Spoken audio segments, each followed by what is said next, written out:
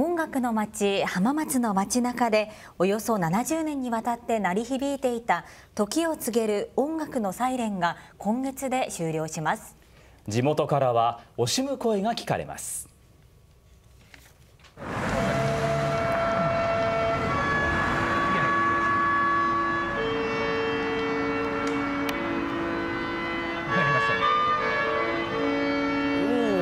ですねあのなるのが当たり前だったので、まあ、もしなくなるとすればちょっと寂しいような気もしますけど。いろんな思い出があります？思い出というかまあ本当小さなところからなっていたので。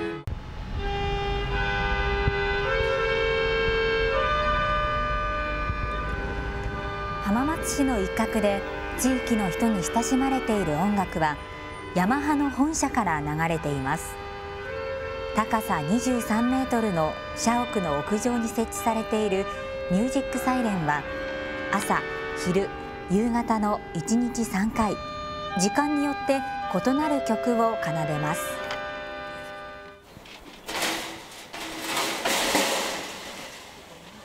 メンテナンスを担当して11年の野尻さんが音の出る仕組みを教えてくれました。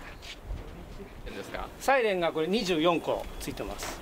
で24音分ですね。はい。中の羽が回転してシャッターが開いた瞬間に発音するという。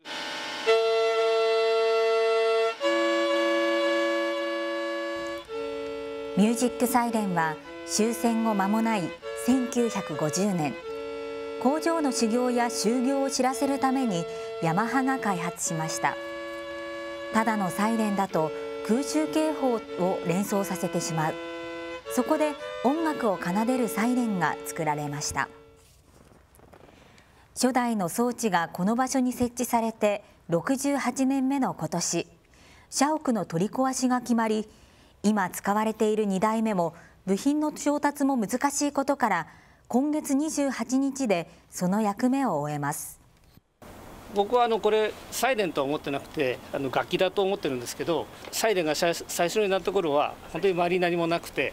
本当に音楽を聴いてみんな心を和ませてくれたんじゃないかなと思ってます。なのでとてもまあ寂しいんですけれども、まあ、これは時代の流れなのかなとは。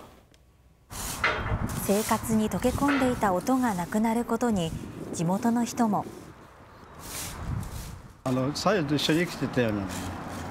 ね本当これみな村掃除町中。もうずっと生活にへばりついてるみたいな感じですけど今まであったものがなくなってしまうんでちょっと寂しいような気もしますね。ヤマハの社員はもちろん近くに住む人の心にも刻まれたミュージックサイレンはあと1週間。変わらぬ音色で時を知らせます。